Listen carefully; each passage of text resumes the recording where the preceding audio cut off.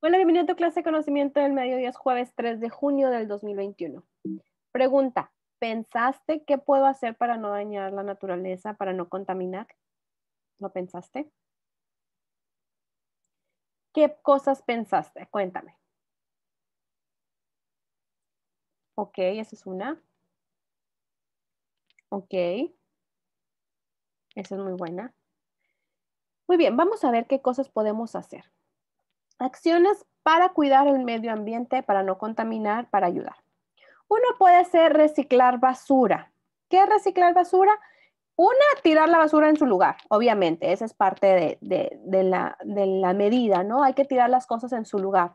Dos, tener botes para reciclar. Tú sabes que hay cosas que se pueden reciclar, que se pueden volver a utilizar o se pueden convertir en otra cosa, como las botellas de plástico, las botellas de vidrio, el cartón y el papel. Entonces, existen, podemos separar la basura en papel, en cartón, en vidrio, en plástico, que podemos eh, llevar a lugares de reciclaje y así se vuelvan a utilizar y ya no se genere basura. ¿Ok? Esa es una acción. Pero también, principalmente y más sencillo, que las personas tiren la basura en su lugar. ¿Ok? Dos, no desperdiciar agua. Quiere decir utilizar solo el agua que necesitamos.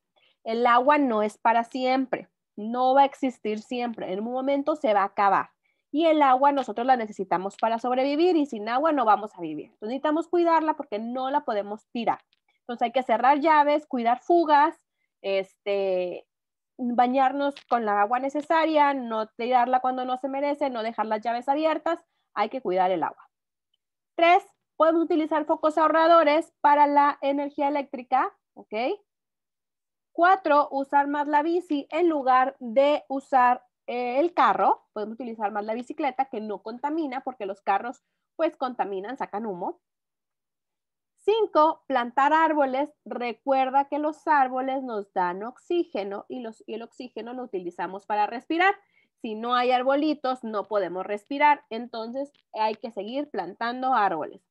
Y seis, cuidar la flora y la fauna, quiere decir a los animales y a las plantas que haya en nuestra naturaleza.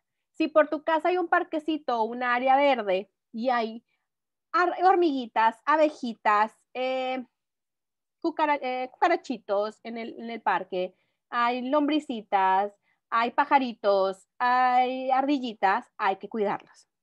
Todo animalito ayuda, ¿ok? Las mariposas, las catarinas, las chinches, las, eh, las cochinillas, las abejas, las hormiguitas, ayudan. Y estando en el parque están en su ambiente, no hay por qué matarlas, ¿ok? Las ardillitas, los pajaritos, ¿ok? Entonces hay que cuidar toda flora y fauna que, que veamos, todo animal y toda planta que veamos, hay que cuidarla, no hay que estar arrancándole las hojas a los árboles o las hojas a las florecitas, los pétalos o estar ahí arrancando el césped porque recuerda que toda planta ayuda a que tú respires. ¿Ok? Entonces, estas son seis acciones que podemos hacer para cuidar el medio ambiente, para cuidar que no haya contaminación, para cuidar nuestra naturaleza. ¿Qué vas a hacer de actividad? Muy sencillo. Vas a hacer la actividad de la página 154. ¿Qué dice esta actividad? Dice que hay que realizar un cartel con alguna acción para cuidar el lugar donde vivo. Voy a seleccionar la acción que yo quiera para cuidar el lugar donde vivo y voy a hacer un cartel, que yo creo que ya vimos cómo se hace un cartel en español hace algunos meses. Y vas a hacer un cartel para cuidar el medio ambiente, ¿ok? Cualquier acción. Puede ser en una cartulina, en una hoja de máquina o en nuestra libreta y me vas a mandar foto de tu cartel que podemos al final pegar también en algún lugar, ¿ok?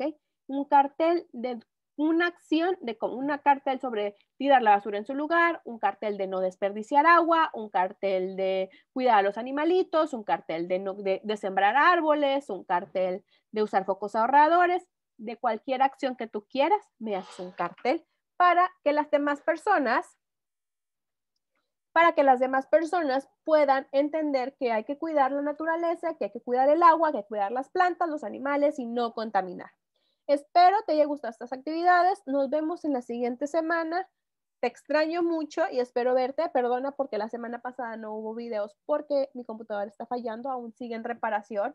Esta computadora la pedí prestada para hacerte los videos y no volverte a fallar, pero esperemos que ya esté lista para poder seguir trabajando tú y yo. Nos vemos en la siguiente clase.